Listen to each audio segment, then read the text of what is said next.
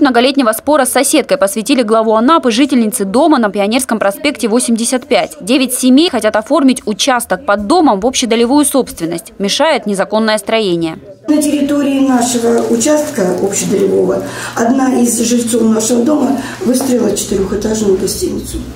А она как построила? Без разрешения? Без согласия, без разрешения. А в какие годы это все? Это было 2000-е годы. На руках у заявителей есть решение судов, вплоть до Верховного. У приставов исполнительный лист на снос самостроя, но результата нет. Сергей Павлович поручил начальнику правового управления внимательно изучить историю вопроса. Максим Сергеевич, э, готов э, приставам отношения, потому что а э, Светлана Владимировна пусть рассмотрит, каким образом мы можем сформировать участок при наличии объекта на участке.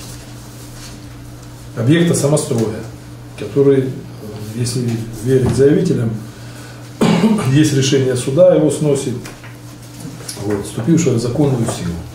Жительница села Субсек главе с вопросом об асфальтировании участка дороги на улице Гагарина. У нас улица идет с первого номера, это я на, шест- на шест- в шестом доме живу.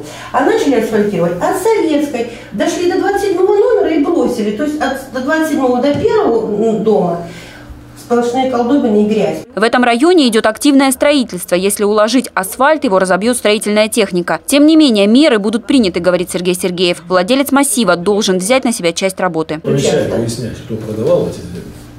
Ты понял? Обижите хотя бы их, чтобы они отсыпали. Или я не А знаю. им э, на сегодняшний день, чтобы не обманывать людей, вот эту осадок от 27 номера, там градирование и отсыпку твердым камнем А там сделано засмотреть. Ну, я видел. Ну и там Ну, грейдер должен пройти.